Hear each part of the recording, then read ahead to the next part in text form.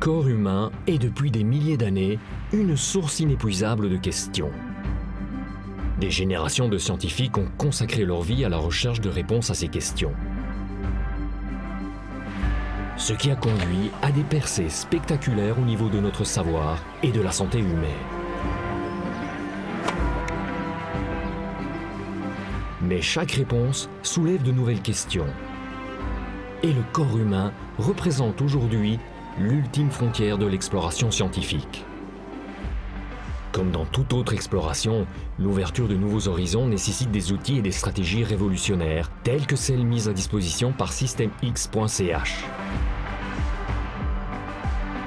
Une initiative nationale de recherche sans précédent, créée par le gouvernement suisse dans le but de révolutionner la recherche en biologie.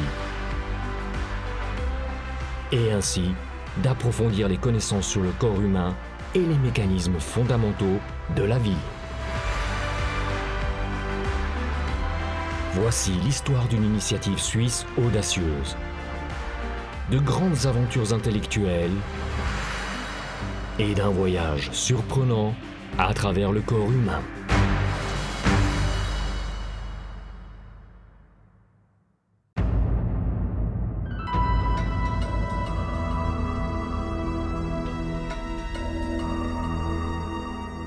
Nos yeux, nos fenêtres sur le monde, la liaison la plus importante entre nous et l'univers qui nous entoure.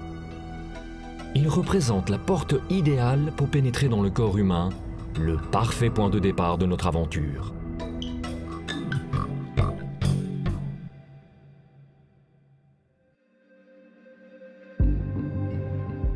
Le sens de l'odorat humain ne peut rivaliser avec celui d'un chien.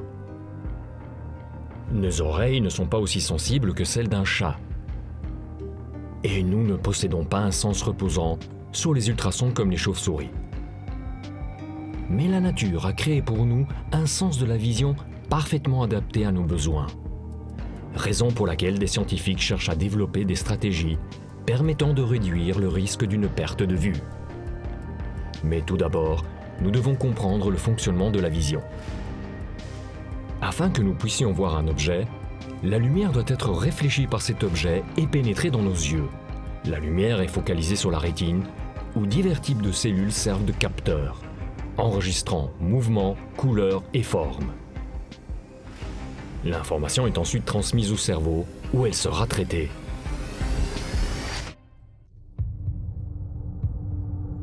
C'est à ce moment que nous percevons ce que nous voyons. Une voiture, de la nourriture, une personne que nous aimons. Michael Fischel a obtenu son doctorat à Bâle en étudiant la vision dans le cadre d'un projet de recherche financé par l'initiative systemx.ch. Sappiamo che riusciamo a vedere grazie ad almeno 60 tipi diversi di cellule all'interno del nostro occhio. Ognuno di queste cellule ha un ruolo differente.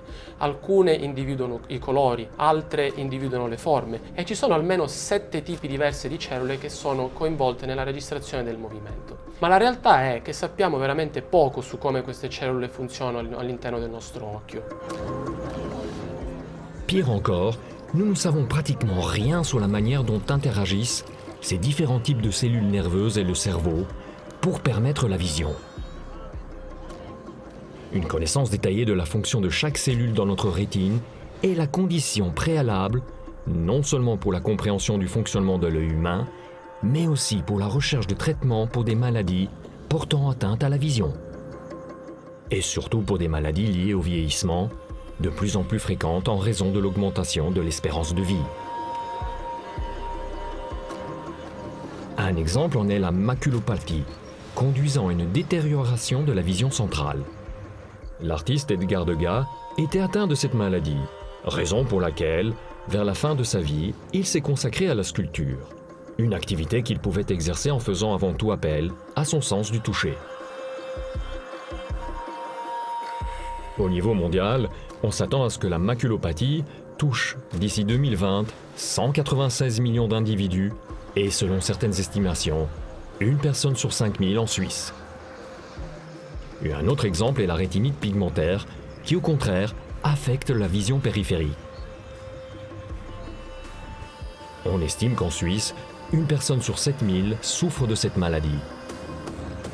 À l'heure actuelle, il n'existe aucun moyen de guérir ces maladies invalidantes.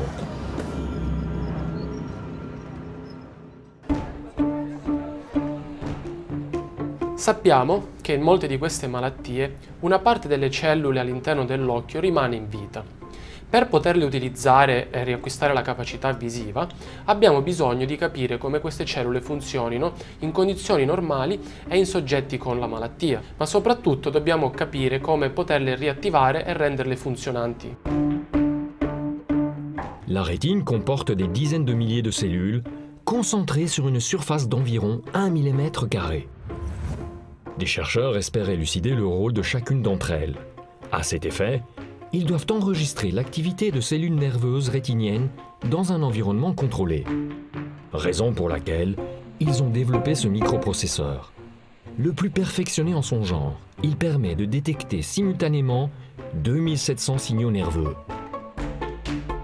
Pour ce faire, les chercheurs doivent avoir accès à une rétine dont la structure est comparable à celle de l'homme une rétine de souris.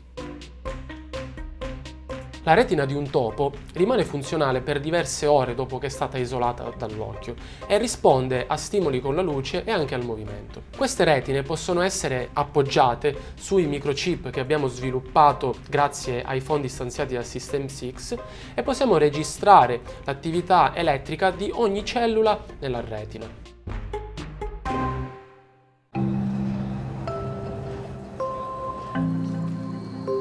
Ce genre de recherche exige un savoir-faire technologique permettant de développer des outils de pointe tels que ce microprocesseur et une collaboration entre spécialistes en biologie, mathématiques et informatique pour maîtriser l'énorme volume de données. L'ensemble de ces efforts se concentre sur un objectif très ambitieux. Acquérir la capacité de corriger des défauts de vision au niveau même des cellules nerveuses, dans la rétine, et à l'avenir peut-être même dans les profondeurs du cerveau, là où sont traitées les images.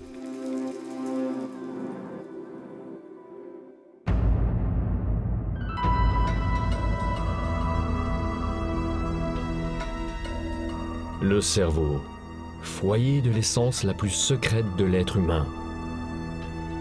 La source de nos pensées, de notre créativité, de nos émotions, et le lieu physique où sont créés et stockés nos souvenirs. Voici la prochaine étape de notre voyage.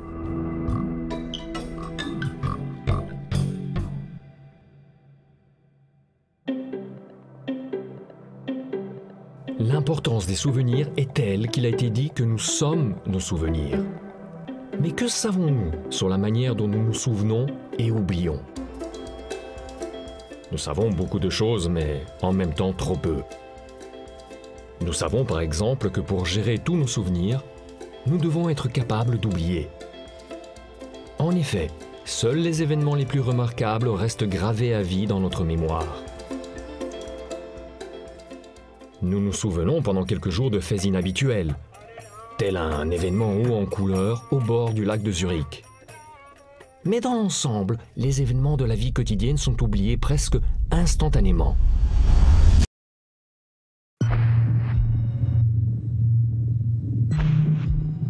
Il nous semble paradoxal que l'oubli soit tout aussi important que l'apprentissage. Mais l'hypermnésie, une détérioration de la capacité d'oublier, illustre l'importance de l'oubli. La première personne au monde chez qui a été diagnostiquée une hypermnésie était une femme américaine. Tout comme d'autres patients souffrant de la même maladie, elle se souvient de tout ce qui s'est passé chaque jour depuis des décennies, même de menus détails comme les conditions météorologiques. Mais cette situation est accablante. Un flux incessant de souvenirs semble l'écraser. Elle souffre de plusieurs phobies et s'efforce constamment de tenir en ordre ses effets ainsi que ses pensées. Comment donc oublions-nous? Tout comme les autres caractéristiques indispensables à la survie, la mémoire semble avoir évolué très tôt dans les organismes vivants et ne pas avoir subi de grandes modifications au cours de l'évolution. Pour comprendre comment nous oublions, il est donc utile de comprendre comment on oublie les drosophiles. Elles sont au cœur du projet de recherche de systèmex.ch, dirigé par Simon Sprecher à Fribourg. Es gibt Milliarden von Nervenzellen im Gehirn von Menschen, wobei es bei der Fliege nur einige tausend sind. Trotzdem gibt es viele Gemeinsamkeiten zwischen dem Menschen, der Fliege und allen anderen Tieren. Die Gene, welche es uns erlauben, uns zu erinnern und zu vergessen. Deshalb glauben wir, dass die zellulären Mechanismen die gleichen sind zwischen Menschen und Insekten und wollen die identifizieren, welche fürs Vergessen wichtig sind. Des chercheurs ont repéré plus de 100 gènes impliqués dans l'apprentissage. À présent, pour comprendre quels gènes sont impliqués uniquement dans l'oubli, ils modifient l'activité de chacun d'entre eux, un par un, moyennant des techniques spécialisées. Ils examinent ensuite l'influence de ces altérations sur la manière dont on oublie les drosophiles. Il s'agit de mouches très particulières. Grâce à un conditionnement préalable, elles savent qu'une odeur donnée conduit à la nourriture alors qu'une autre est associée à un minuscule mais désagréable choc électrique. Après cet apprentissage, les mouches sont introduites dans un tube et sont libres de choisir une direction. Celles qui n'ont pas oublié leur apprentissage volent en direction de l'odeur associée à la nourriture. Les autres mouches avancent au hasard et certaines se déplacent finalement en direction de l'odeur associée à des sensations désagréables. Mit einem speziell hochauflösenden Mikroskop können wir sogar die Vorgänge in der Nervenzelle der Fliege beobachten und welche Verbindungen stärker oder schwächer sind in Fliegen, welche schneller vergessen. So können wir nicht nur die Gene identifizieren, welche fürs Vergessen verantwortlich sind, sondern auch ihren Effekt.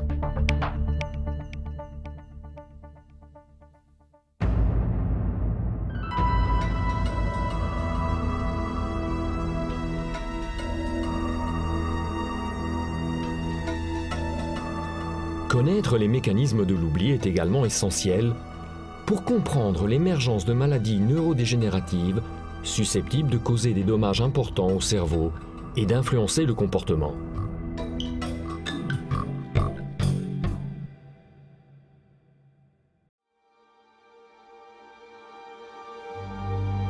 L'oubli est un phénomène naturel, mais lorsque quelque chose ne fonctionne pas correctement dans le cerveau, l'oubli tourne à l'alerte rouge, signalant un événement grave, une maladie neurodégénérative.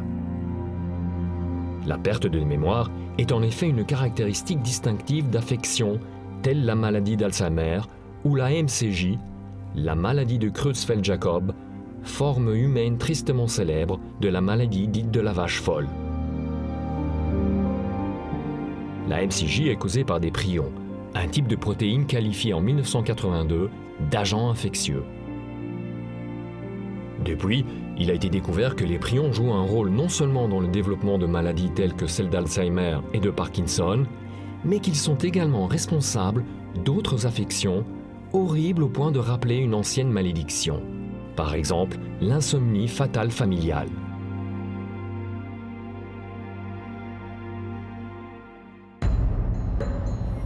Le premier patient connu souffrant de cette terrible maladie était Giacomo, un homme né près de Venise en 1791.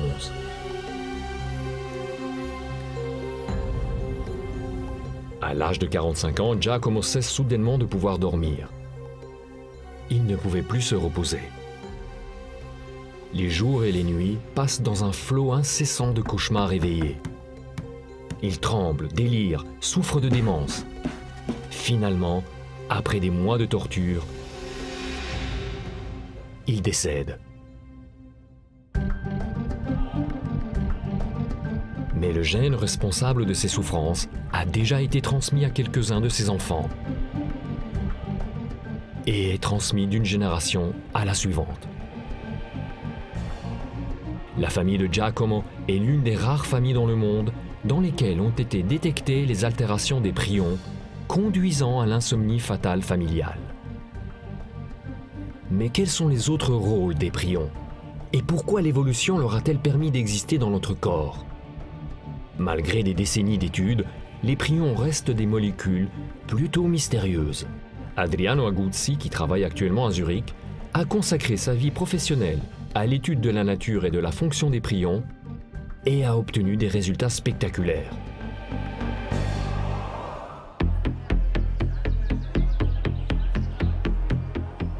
Les prions font partie des milliers de protéines différentes produites en temps normal par le corps sain.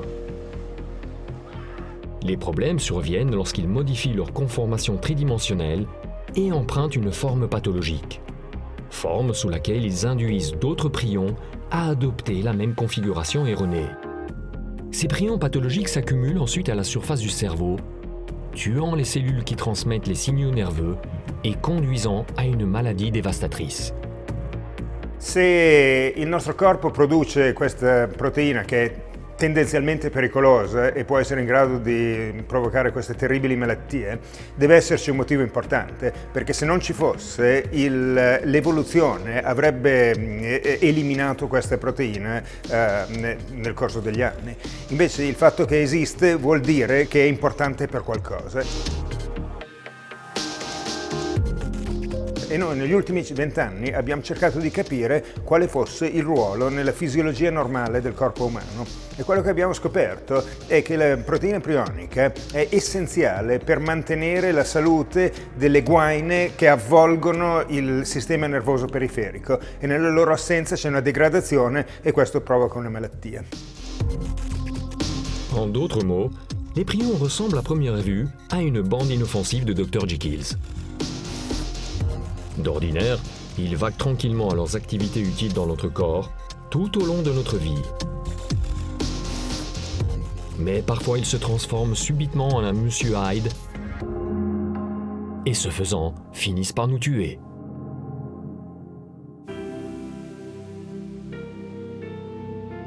Per poter curare o addirittura per poter prevenire le malattie prioniche dobbiamo capire esattamente come i prioni vengano mm, prodotti all'interno delle cellule, quali siano gli stimoli che portano alla loro produzione e come questa produzione venga regolata.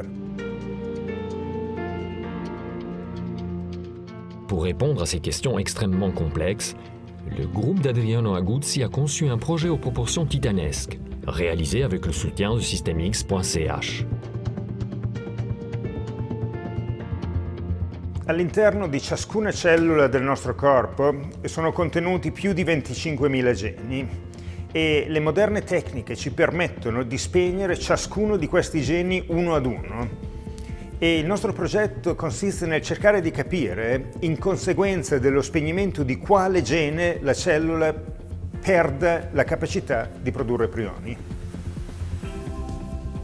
Une tâche de cette taille n'aurait même pas été concevable avec les instruments disponibles il y a quelques années seulement. È un totale cambiamento di prospettive. Noi non sappiamo cosa scopriremo, però sono sicuro che quando avremo scoperto qualcosa sarà qualcosa di completamente inaspettato che ci aprirà nuovi orizzonti. Depuis Galilée, la méthode scientifique consistait à formuler une hypothèse qu'il convenait ensuite de vérifier par des expériences. C'est un peu comme deviner où a été enterré un trésor dans le désert et partir à sa recherche en creusant. Le criblage à grande échelle conçu par le groupe de M. Aguzzi, en revanche, est comme un passage au peigne fin du Sahara tout entier et une étude de ce qui a été retenu.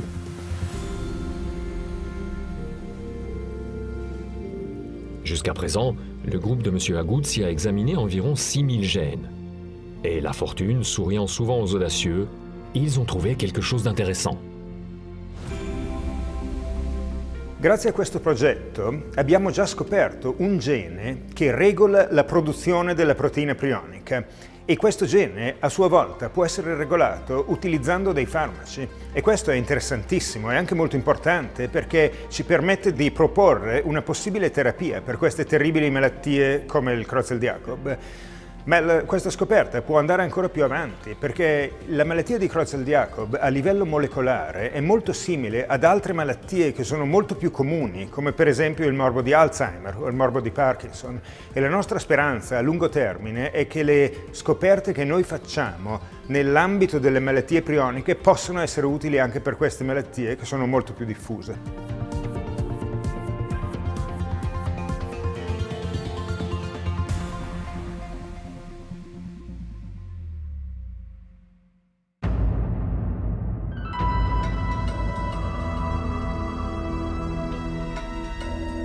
Cellules nerveuses, musculaires, cutanées, adipeuses.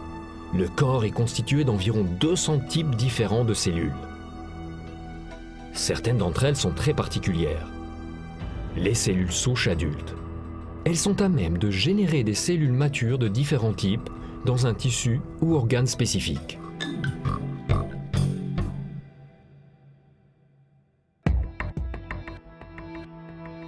Il existe des cellules souches appelées cellules souches hématopoïétiques. Elles entretiennent le système de formation du sang tout au long de la vie d'un organisme en générant tous les différents types de cellules sanguines, y compris les globules blancs impliqués dans l'immunité et les globules rouges responsables du transport de l'oxygène dans les différents tissus. Les cellules souches hématopoïétiques, fournies par un donneur, sont à la base de traitements à même de sauver la vie de personnes atteintes de tumeurs telles que la leucémie, de maladies métaboliques ou immunitaires et bien d'autres. Mais il existe également une autre option pour traiter ces affections. L'utilisation de cellules souches extraites du cordon ombilical d'un nouveau-né.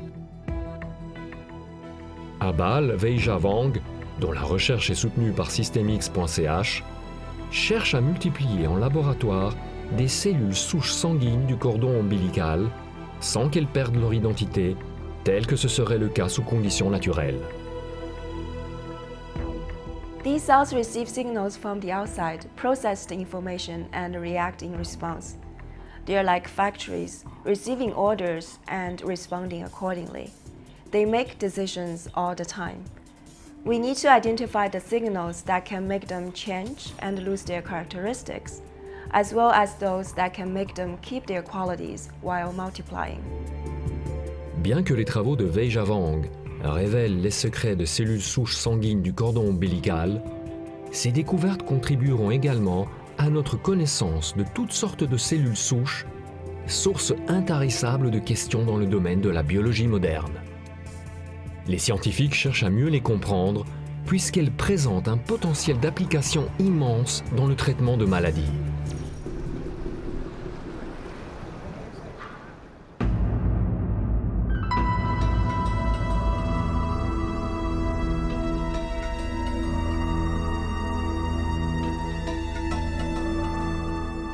Possibilité d'influencer le comportement de cellules souches pourrait ouvrir d'horizons nouveaux pour la biologie. Les cellules souches du poisson zèbre aident son cerveau à se régénérer à la suite d'une blessure. Serons-nous un jour capables d'induire un phénomène similaire chez l'homme afin de régénérer des organes endommagés? Et dans quelle mesure pourrons-nous manipuler sans risque nos cellules?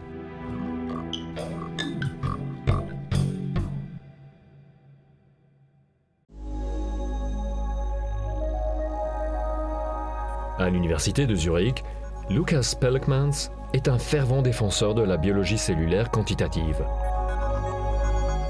Wir können heute davon ausgehen, dass wir in der Zukunft in der Lage sein werden, einzelne Zellen zu ändern, sogar Organe oder vielleicht sogar unser ganzes Organismus. Aber ein erster Schritt in diese Richtung bedingt, dass wir biologische Systeme verstehen und verstehen, wie sie Komplexität generieren. Gerade deshalb wurde SystemsX.ch initiiert. Der Fokus sollte nicht auf das Verstehen von einzelnen Molekülen wie DNA oder Protein liegen, aber vielmehr sollte geforscht werden mit dem Ziel, das Ganze zu verstehen, wie viele Moleküle zusammenarbeiten in ein System und so Komplexität generieren und Eigenschaften generieren, die wir nur verstehen können, wenn wir das Ganze in Betracht nehmen. Pour comprendre les propos de Lucas Pelkmans, imaginons un moment que le corps humain est un nid de termites.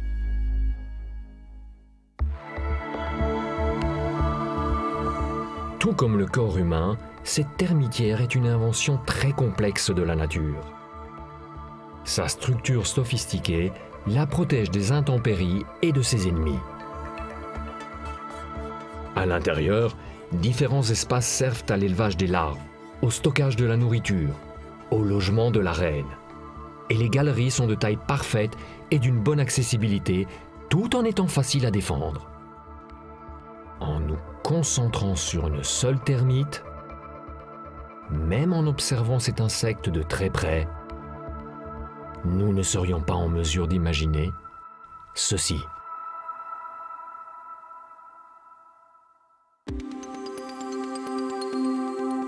So wie wir detailliert über die Vorgänge einer einzelnen Termite Bescheid wissen können, können wir auch viele Details von einem Gen und sein Produkt wissen. Nur ein Gen kann eine große Auswirkung haben in einer Person, aber gar keine Auswirkung an eine andere. Es hängt vom spezifischen Kontext ab. Deswegen müssen wir diesen Zusammenspiel von Genen im Gesamten verstehen, wie sie interagieren mit anderen Molekülen in der Zelle. Wir müssen das System als Ganze betrachten. Il est intéressant de constater qu'en biologie des systèmes, nous devons aussi prendre en considération l'élément du hasard. Le hasard peut jouer un rôle dans la manière dont une cellule vit, meurt ou tombe malade. Doch trotz des Faktors Zufalls ist es heute möglich, das Ergebnis von molekularen Prozessen zu vorhersagen oder die Reaktion von Körper auf Medikamente zu steuern. Nur brauchen wir dafür Unmenge von Daten. Das ist heute mit modernen Technologien möglich. Wir können tausende von Experimente gleichzeitig ausführen und analysieren mit kräftigen Computern.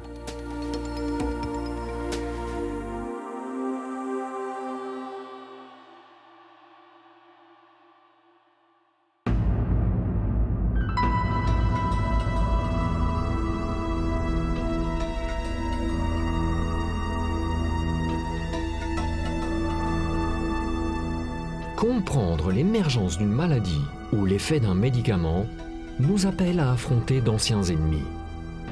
Tueurs notoires dotés d'une capacité hautement sophistiquée à interagir avec notre corps et à en prendre le contrôle, les microbes pathogènes.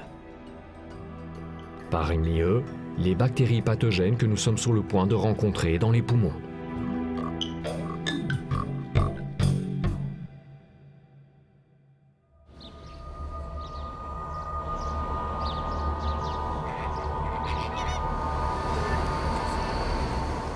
Cours du dernier siècle, on s'attendait à ce que l'utilisation d'antibiotiques mette fin à la menace posée à la santé humaine par certaines bactéries.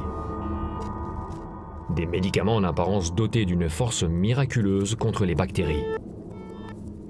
Mais on avait sous-estimé que les bactéries possèdent une capacité exceptionnelle à se transformer, à développer de nouvelles caractéristiques, les aidant à survivre dans un environnement hostile.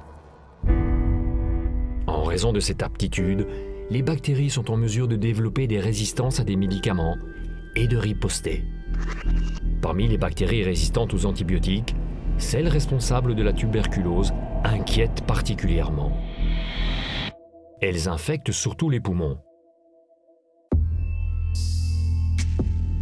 Il serait erroné de croire que le problème de la tuberculose ne touche pas à notre vie quotidienne.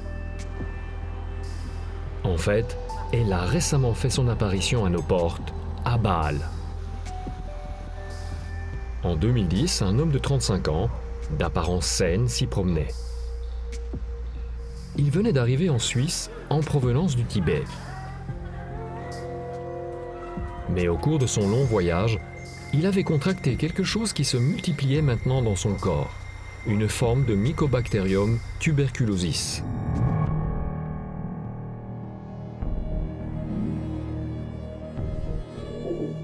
Lors du diagnostic de sa maladie, les médecins réalisèrent que les bactéries à l'origine de l'infection étaient résistantes à tous les antibiotiques couramment administrés.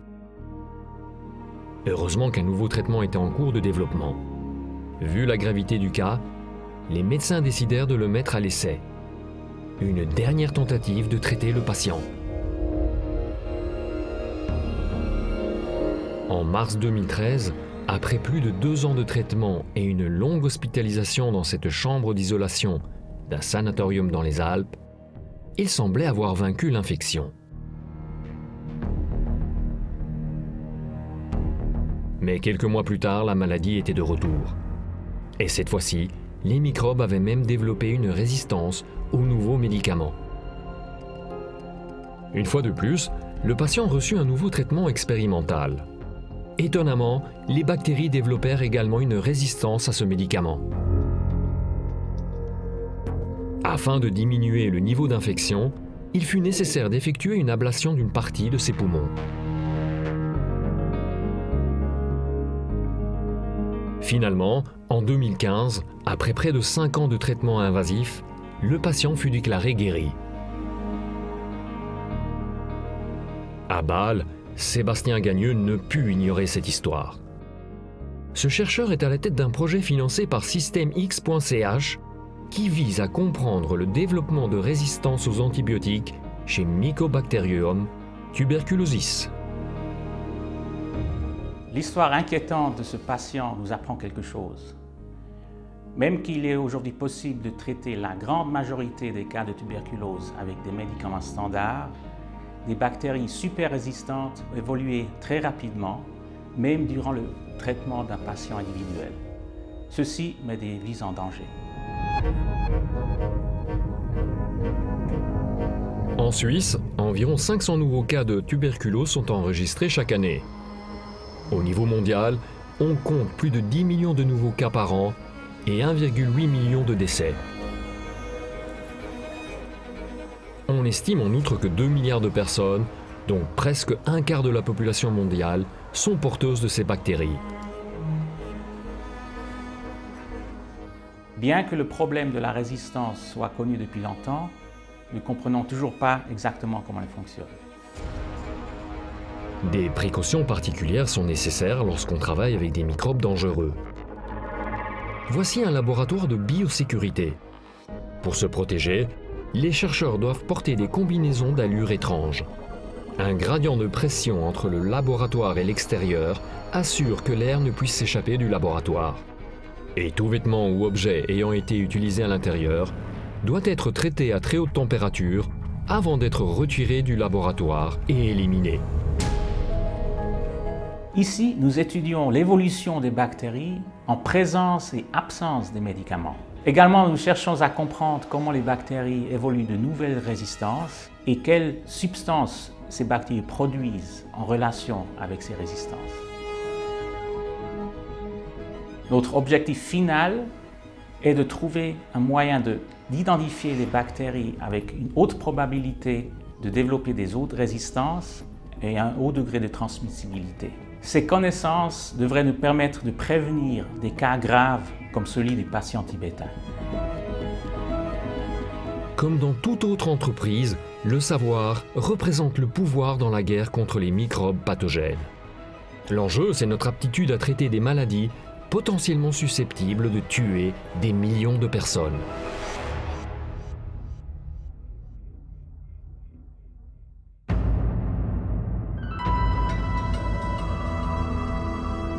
Les poumons et les bactéries susceptibles de les infecter et descendons dans le corps en direction du ventre, où de la graisse peu appréciée a facilement tendance à s'accumuler.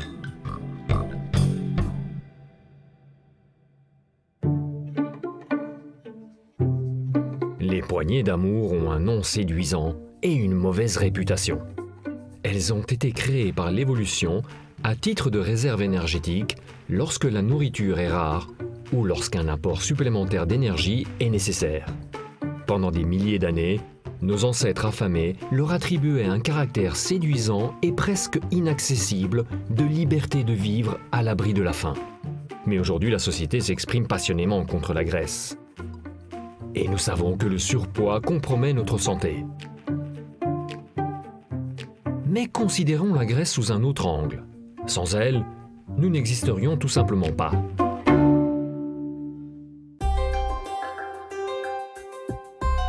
D'un point de vue scientifique, ce que nous appelons la graisse est en fait un groupe de molécules nommées lipides. À Lausanne, Gizou van der Goot dirige un projet soutenu par Systemix.ch qui vise à mieux comprendre la grande part lipidique de notre corps. Bien que nous ayons tendance à associer les lipides avec le surpoids, dont nous nous passerions volontiers, ces molécules sont présentes partout dans notre corps. Chaque cellule est comme une petite euh, pochette entourée de lipides et pour qu'il y ait une communication entre l'intérieur et l'extérieur de la cellule, on a des molécules, des protéines qui font la communication. Et puis ensuite, à l'intérieur de la cellule, il y a à nouveau des compartiments, des sortes de pièces. Et la plus grande de celles-ci est le noyau, qui est celle qui contient notre ADN. Mais il y a toute une série d'autres petits compartiments, dont le compartiment qui contient le gras.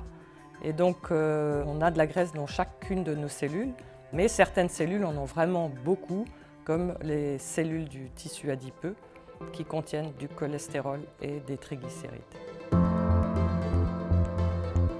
Le cholestérol, une des molécules les plus fondamentales des organismes vivants.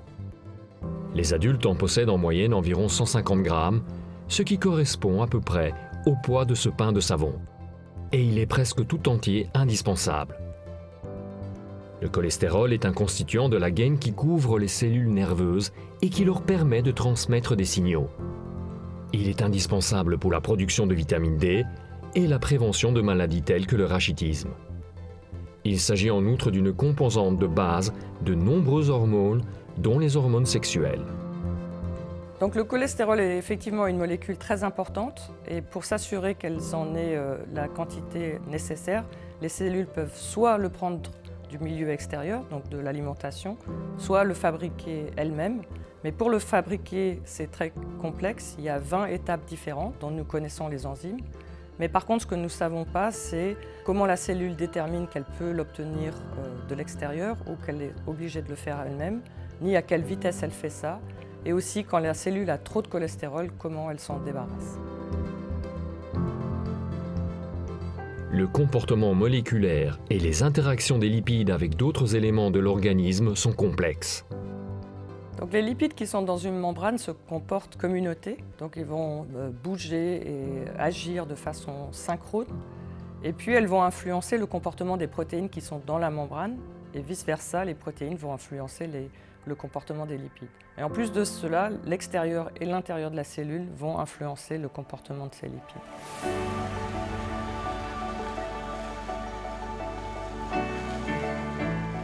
pour déterminer quel gène contrôle la variabilité de différents types de lipides et comment change cette variabilité en fonction des besoins de la cellule, les scientifiques bloquent un par un chacun des 25 000 gènes environ afin d'étudier l'effet de chacun des quelques 1000 lipides présents dans nos cellules.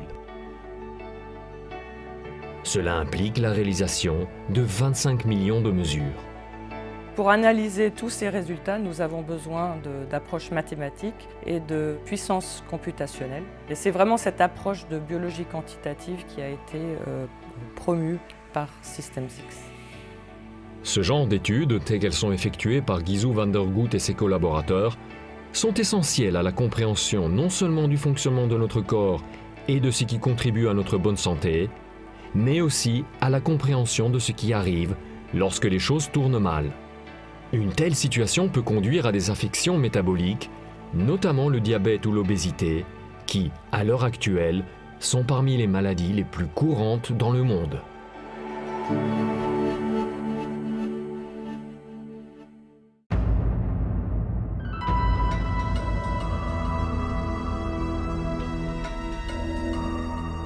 Vous seriez-vous douté de l'importance des lipides dans notre existence? Les scientifiques élargissent constamment notre sensibilité à la valeur des constituants de notre corps. Et il peut s'avérer qu'en tant que composant d'un système complexe, même les plus négligés jouent un rôle essentiel au sein d'un organisme. Mais il se peut que nul ne soit aussi inattendu que celui que nous sommes sur le point de rencontrer dans l'intestin.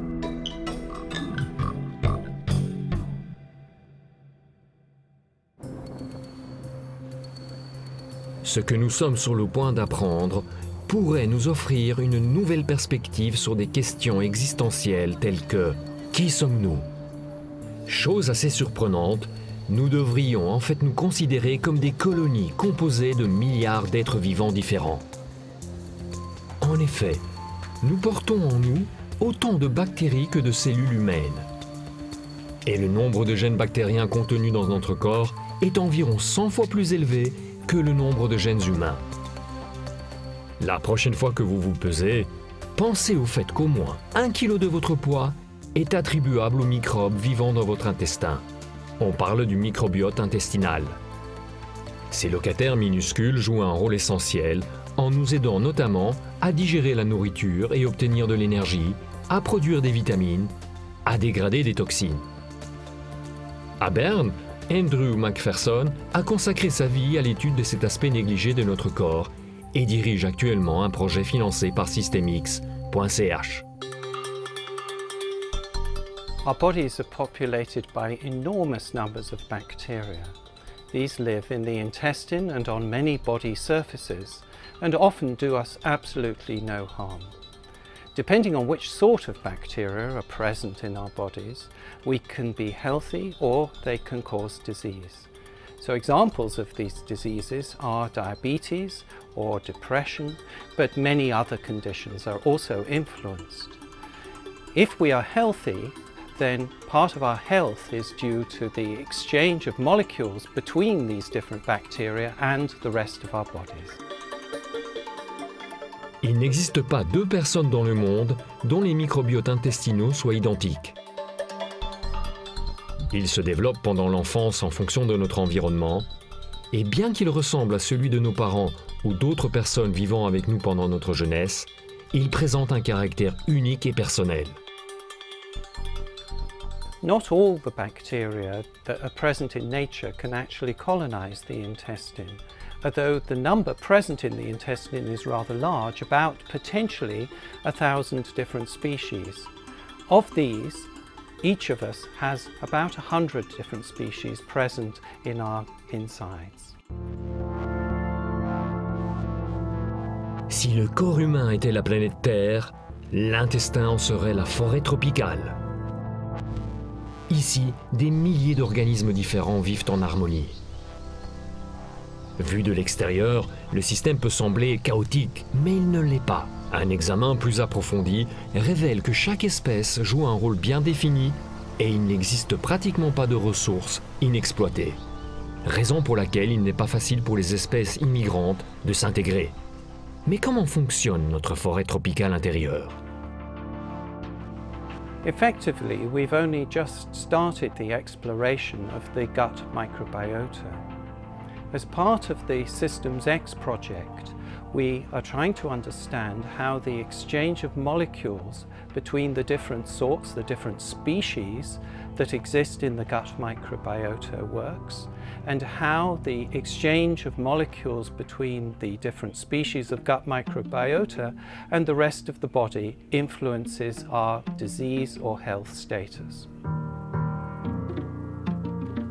Le microbiote intestinal se trouve sur les muqueuses tapissant les parois internes de l'intestin. Pour l'étudier, les chercheurs prélèvent des échantillons par endoscopie. Une équipe de biologistes et de mathématiciens développe ensuite des modèles qui prédisent les interactions entre les bactéries des différents échantillons et leurs résultats sont comparés avec ce qui est observé dans la réalité. Un objectif important de ces études est d'aider les patients souffrant de maladies intestinales inflammatoires. Le nombre d'espèces bactériennes dans l'intestin de ces personnes est trop faible. La forêt tropicale se transforme en désert et tout comme dans les environnements naturels, ce changement radical est difficile à renverser. Unfortunately, in many clinical situations, it's rather difficult to be able to introduce good bacteria to restore health in a therapy context. The reason for this is probably that it is such a complex situation in the intestine that it's difficult for us to decide exactly which bacteria we should use as therapy for patients. Once we know exactly who our gut inhabitants are and how they relate to each other and to our bodies, we will be able to start to design therapies and to use the clinical situation in order to improve patients' health.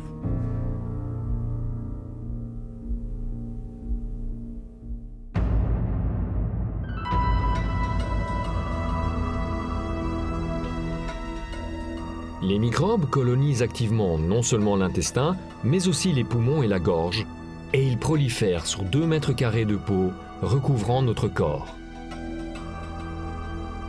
Entre 1 et 10 millions de ces créatures vivent sur chaque centimètre carré de notre peau, Et plus nous en savons sur elles, plus nous pourrons en apprendre sur leur rôle spécifique dans notre santé.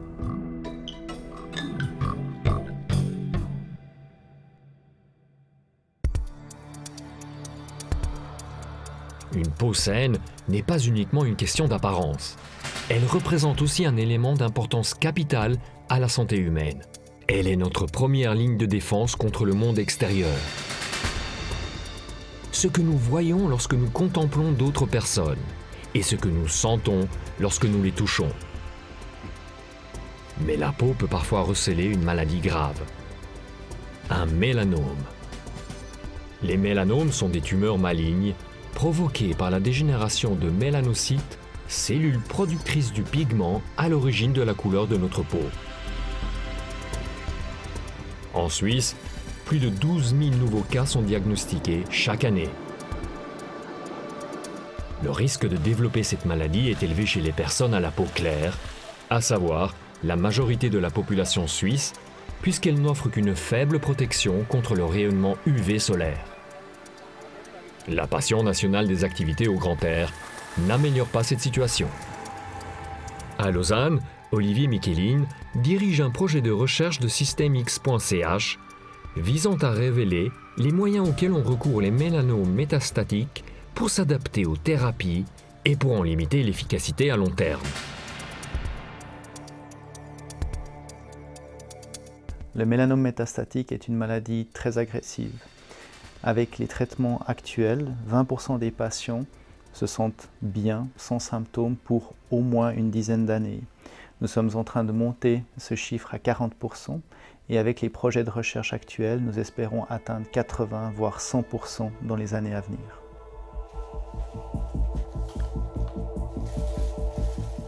Jusqu'à la fin du siècle passé, les tumeurs étaient essentiellement classées et traitées en fonction de l'organe principal touché par la maladie.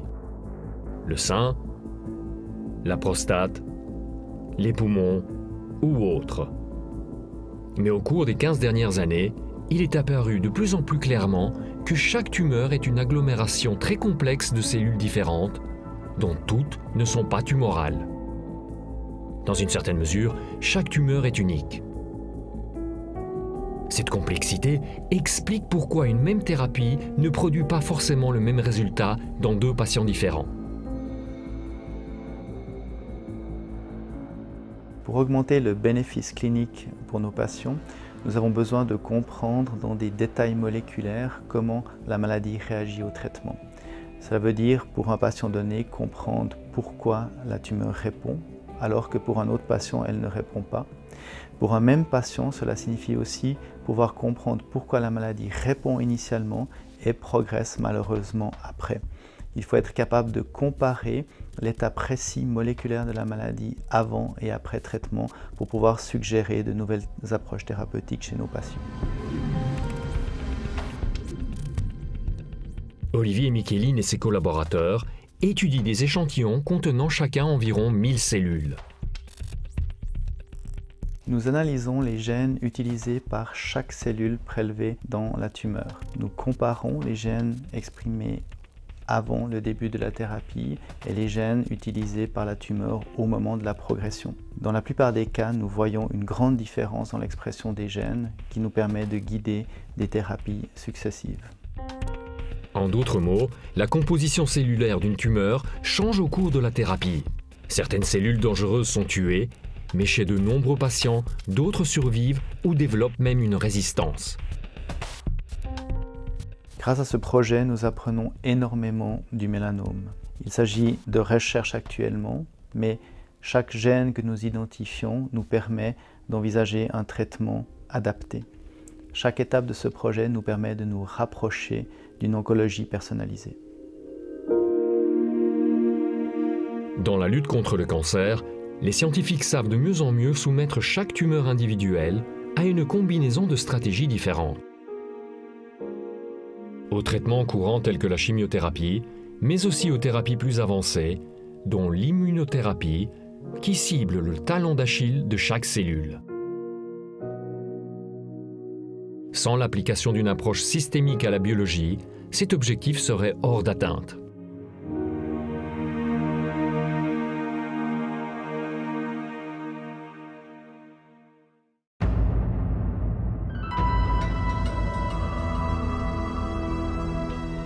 Pour comprendre comment fonctionne une tumeur, les chercheurs doivent en effet l'étudier tout entière en se concentrant sur les interactions entre ses composantes. Et dans le fond, cette approche est valable non seulement pour les tumeurs, mais pour chaque partie du corps.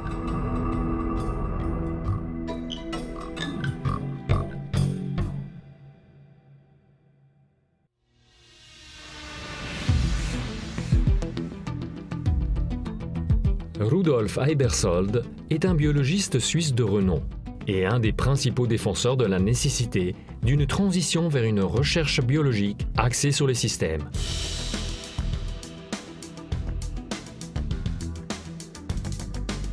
Die Erkenntnisse, die über die letzten 20 bis 30 Jahre erarbeitet wurden, speziell auf dem Gebiet der, der DNA-Analyse von gesamten Genomen, sind von großer Bedeutung für die Biologie und können nicht überbewertet werden. Wir haben aber auch gelernt, dass, die, dass das Kenntnis der gesamten Genomsequenz nicht ausreicht, um die biologischen Prozesse zu erklären. Zum Beispiel haben wir erkannt, dass eine Veränderung in einem bestimmten Gen in verschiedenen Individuen sich verschieden ausprägt.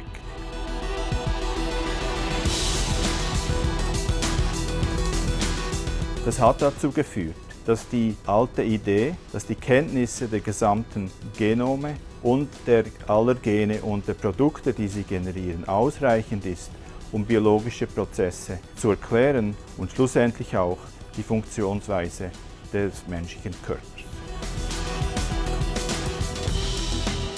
Dans les années 80 et 90, l'étude et le séquençage du génome humain représentaient une des frontières les plus avancées en biologie. La réalisation de la première ébauche a été annoncée avec enthousiasme tant par Bill Clinton que par Tony Blair le 26 juin 2000. C'est à cette époque qu'ont été établies d'importantes collaborations internationales. Certains pays ont choisi de ne pas participer à cette entreprise, misant sur le fait qu'ils pourraient s'engager plus tard et se servir des informations pour leurs recherches. La Suisse est un des pays ayant décidé de ne pas participer au projet Génome humain. Meiner Meinung nach war das ein großer Fehler. Der Grund dafür ist, dass in der biologischen Forschung nicht nur die Resultate wichtig sind, sondern auch die Prozesse und die Art und Weise, wie diese Resultate entwickelt werden. Eine Konsequenz davon ist, dass diejenigen Länder, die sehr früh in der genomischen Forschung aktiv waren, nicht nur die Resultate früh einsehen konnten, sondern auch die Prozesse lernen konnten, wie diese Resultate generiert werden. Eine Konsequenz davon ist, dass in diesen Ländern die akademische Forschung, aber auch die Forschung in der Biotech-Industrie heute auch noch immer von diesem Vorsprung äh, profitiert und dass diese Institutionen weltweit eine führende Position einnehmen. Im Gegensatz dazu ist die Schweiz, obschon sie sehr stark ist in der Forschung generell, in der genomischen Forschung nie in einer Position gewesen, um eine weltweit führende Position einzunehmen. Mit dem Aufkommen der systembiologischen Forschung wurde der Entscheid gefällt, dass dies, dieses Mal in, die Schweiz von zu Beginn an vorne mit dabei sein sollte. Und deshalb wurden Projekte initiiert, um die Forschung in der systembiologischen Gebiet von Anfang an zu fördern. Aus diesem Grund wurde im Jahr 2008 die Systembiologie-Initiative System 6 etabliert, mit der Absicht, die Forschung in der Schweiz weltweit in eine führende Position zu bringen, zum Nutzen der Bevölkerung und der ganzen Schweiz.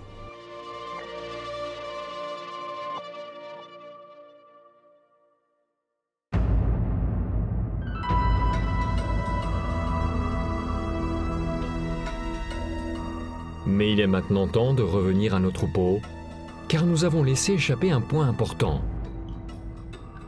Combien elle est extraordinaire.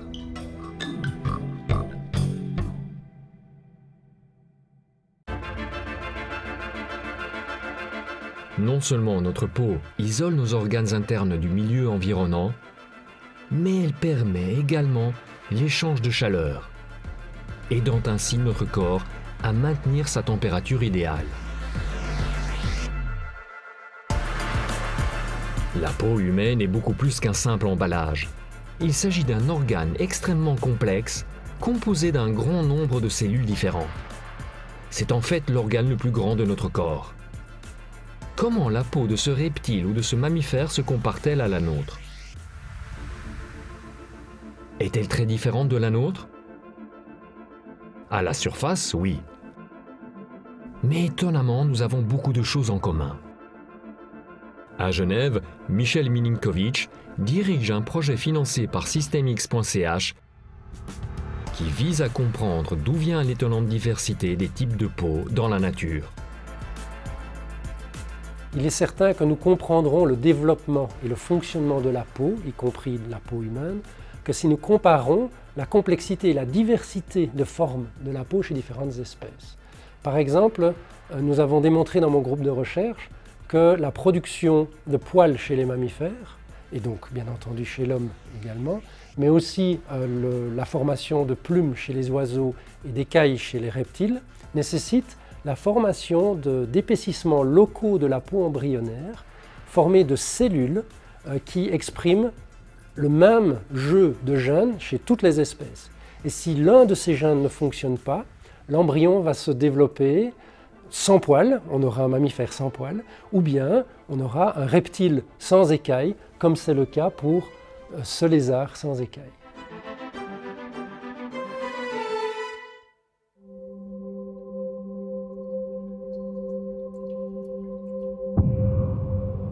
Si un seul des gènes humains étudiés par Michel Milinkovic ne fonctionne pas correctement, les résultats sont parfois surprenants. Tel est par exemple le cas chez l'acteur Michael Berryman, dont la chevelure, les ongles, les dents et les glandes sudoripares sont très réduits. Il en va plus ou moins de même pour les pauganas, une espèce de lézard australien. Ils présentent normalement des écailles sur tout le corps, y compris des épines sur la tête et sur les flancs. Mais lorsqu'un des gènes subit une mutation, les écailles et épines sont beaucoup plus petites et toutes les écailles et épines disparaissent chez les descendants de deux parents portant la mutation. C'est ce qui est arrivé à cet individu, dont la peau est extrêmement lisse. Bien que les gènes jouent un rôle fondamental, l'aspect de la peau est également influencé par un certain nombre d'autres facteurs, notamment la forme des cellules et la compression ou la tension à laquelle elles sont soumises. Nous modélisons les processus biologiques et physiques qui génèrent la diversité de formes et de couleurs de la peau. Et c'est pourquoi nous utilisons des approches de la biologie des systèmes. Nous utilisons des outils et compétences propres à la biologie, à la génétique, mais également au domaine de la physique, de l'informatique et des mathématiques. Les études effectuées dans ce laboratoire constituent une étape essentielle vers la reproduction de peau pleinement fonctionnelle, dotée de poils et peut-être même d'autres éléments tels que glandes et récepteurs tactiles. Un objectif qui à l'heure actuelle n'est pas encore réalisable, mais qui constituerait un grand pas en avant dans le traitement de grands brûlés.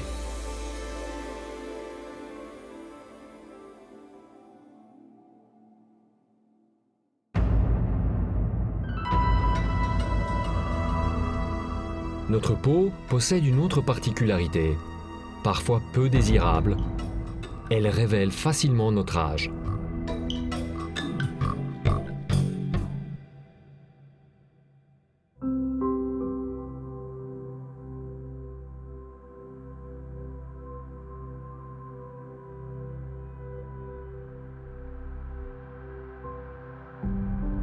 Notre corps vieillit inévitablement. Certains d'entre nous semblent vieillir plus lentement et rester sains plus longtemps. Par exemple, Jeanne-Louise Calment, qui jusqu'à présent est l'être humain ayant vécu le plus longtemps. À l'âge de 85 ans, elle a commencé l'escrime. Et elle a fait de la bicyclette jusqu'à 100 ans. Elle est décédée à l'âge de 122 ans et 164 jours. Bart de Planck travaille à Lausanne et dirige un projet de Systemix.ch axé sur le vieillissement. Il tente de percer les secrets liés à la longue et saine vie de cette doyenne de l'humanité. Profiter d'une vie longue et saine hein, dépend de chance, manière de vivre et de gènes. On sait qu'on ne peut pas vraiment contrôler notre destin, mais savoir la fonction de gènes qui sont liés au vieillissement et savoir quelle version de gènes qu'on a dans notre génome peut vraiment faire un grand impact, de telle manière que ça peut nous offrir une perspective d'éventuellement devenir des centenaires sains. L'objectif de la recherche de Bart de Planck est d'identifier, dans l'environnement complexe de cellules, d'organes et d'organismes, les effets de gènes liés au vieillissement. On peut tous apprécier que changer quelques habitudes de vie peut être bénéficiel. Par exemple, si on sait qu'on a un taux euh, de cholestérol élevé, c'est probablement bien de réduire la consommation de matières graisses. Mais cela dit, il semble d'être des personnes qui bénéficient d'une gamme de gènes qui leur protègent en fait des habitudes très nocives. Par exemple, il y a ces gens qui fument toute leur vie et malgré ça, ils ne développent jamais le cancer du poumon. Et c'était d'ailleurs vrai en fait pour, euh, Madame Louise Calment aussi. Et ça, c'est vraiment un mystère. On veut comprendre en fait la fonction de ce gène, en fait, pourquoi il protège? Et on veut savoir en fait quelle copie de ce gène, bonne ou mauvaise, on possède. Et comme ça, on peut changer notre manière de vivre ou même en fait euh, utiliser quelques traitements pour que ça peut être un effet bénéficiel sur notre santé. Jusqu'à présent, les scientifiques ont identifié 30 gènes qui pourraient jouer un rôle clé dans la longévité humaine. L'étape suivante est de comprendre leur comportement et leurs effets dans les cellules.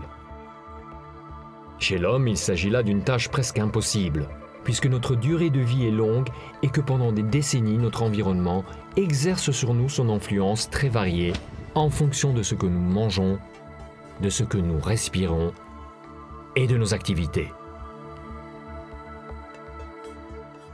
Heureusement, on a l'opportunité et la chance de pouvoir travailler avec des modèles animaux parce que ça peut être surprenant, mais le souris, mais aussi même les vers et les mouches possèdent des gènes similaires aux nôtres, les humains, qui ont aussi en fait un effet sur le processus de vieillissement. Et ces animaux-là, on peut les élever dans des environnements très standards et ça nous permet de vraiment étudier d'une manière beaucoup plus simple le rôle de ces gènes dans le vieillissement. Ces deux vers ont par exemple le même âge, mais celui de gauche a l'air beaucoup plus actif.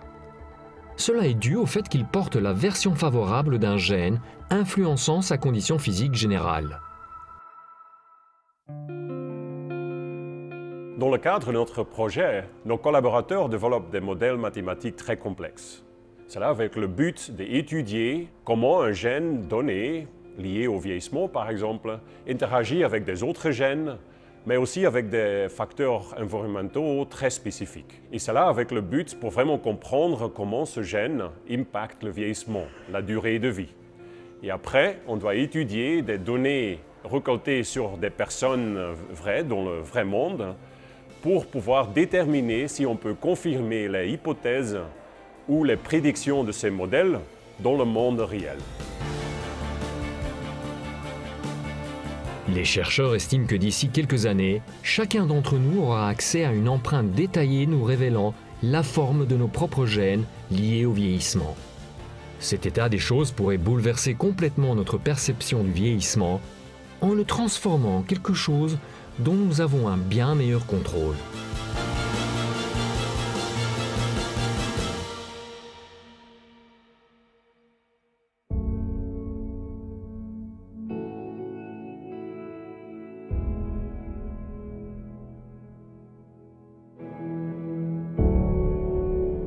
Des millénaires durant, le corps humain a été une boîte noire.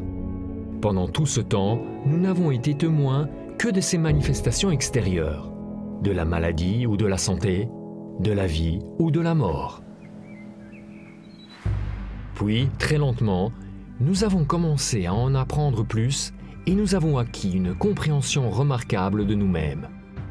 Mais nous savons que nous devons aller plus loin. Nous devons comprendre ce qui se passe à l'intérieur de chaque être humain individuel, parce que nous sommes tous uniques. Ralph Eichler est physicien et a été un des avocats principaux de l'initiative Systemx.ch depuis 2007. Lorsqu'il était président de l'ETH et le premier président du conseil de surveillance de Systemx.ch.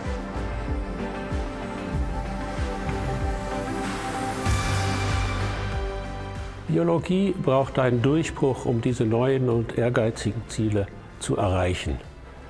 Deswegen bewegt sich die Forschung weg von qualitativen Beobachtungen zu quantitativen Messungen, präzisen Modellen, Computersimulationen, die es ermöglichen, biologische Systeme als Ganzes zu beschreiben und zu verstehen. Aus diesem Grunde ist es von Vorteil, wenn Wissenschaftlerinnen und Wissenschaftler aus verschiedenen Disziplinen zusammenarbeiten. Wenn die Systembiologie lebende Organismen beschreiben möchte, ist es für immer mehr von Vorteil, wenn das Wissen von Physikern, Chemikern, Ingenieuren, Informatikern und Mathematikern einfließen in dieses Verständnis. Auf der anderen Seite durch das Studium von biologischen Funktionen werden wir sicher auch neue Ingenieurlösungen finden, die in unserem Alltag Eingang finden werden. Als Beispiel, wenn wir besser verstehen, wie unser Gehirn Bilder erkennt, wird es eventuell neue elektronische Schaltkreise geben, die in der nächsten Generation von Mobiltelefonen eingebaut werden. Das Projekt systemsx.ch ist somit ein sehr gewinnbringendes Projekt. Au total, l'initiative Systemx.ch a financé plus de 250 projets impliquant plus de 2100 scientifiques. Bien que ce documentaire se concentre sur les études portant sur le corps humain, la majorité des projets soutenus par Systemx.ch sont des projets de recherche fondamentale et n'ont qu'un rapport lointain avec notre espèce. A également contribué au changement de la vision d'une nouvelle génération de chercheurs grâce à un soutien financier spécifiquement destiné aux jeunes scientifiques. Il s'agit là de l'avenir des sciences de la vie et grâce à l'initiative Systemx.ch, la Suisse ouvre la voie dans la bonne direction, au profit de ses citoyens et de l'humanité.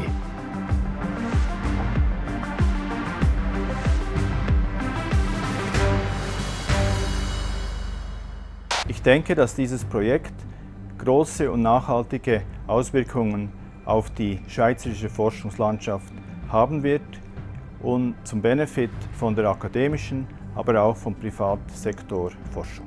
Il mio progetto interdisciplinare di dottorato mi ha consentito di affrontare la ricerca scientifica da un angolo diverso e di guardare in modo nuovo alla mia carriera e al mio futuro. Mit unserem SystemsX.ch Projekt konnten wir nützliche Informationen aus einer riesigen Menge von Daten herausholen, dank der Kombination von experimenteller Biologie mit Modellierung und Mathematik. Il modo con cui conduciamo la ricerca è cambiato profondamente negli ultimi anni. Abbiamo bisogno di nuovi strumenti, nuovi metodi e nuove strategie. E in questo contesto Systems X ci ha dato la spinta giusta al momento giusto. Through Systems X, I got a unique learning opportunity in a multidisciplinary research environment. This will help me a lot in achieving my career goal, which is to establish my own research group using the tools and approaches that I've learned here. Notre projet Systems X contribue à répondre à des questions fondamentales sur la tuberculose, éventuellement menant à une meilleure prévention des épidémies dans le monde et en Suisse. Donc Systems X nous a vraiment permis de changer la façon dont on approche ces questions scientifiques et je ne vois pas comment on pourrait retourner à la façon dont nous le faisions avant. The collaboration in our Systems X project has been absolutely transformative. It's given us the opportunity to understand our inner world of intestinal bacteria, how these influence our bodies, and how we can change these interactions in order to improve our health. Systems X a été une initiative ambitieuse et courageuse. Au début, certains pensaient que cela ne fonctionnerait pas et il nous a fallu en effet du temps pour y arriver. Lorsque nous regardons maintenant les résultats, nous nous rendons compte que nous étions sur la bonne route. En regroupant dans le même laboratoire des biologistes cellulaires, des généticiens, des physiciens, des informaticiens et des mathématiciens, nous pouvons répondre aujourd'hui à des questions qu'il était impossible d'étudier dans le passé, ouvrant dès lors des nouveaux horizons de recherche. Le grand réseau de chercheurs travaillant dans les différents domaines, qui s'est établi grâce à systemsx.ch, continuera sûrement sa collaboration, même après la fin de l'initiative. Dank systemsx.ch gehört die Schweiz heute zu den führenden Ländern im Bereich der Systembiologie.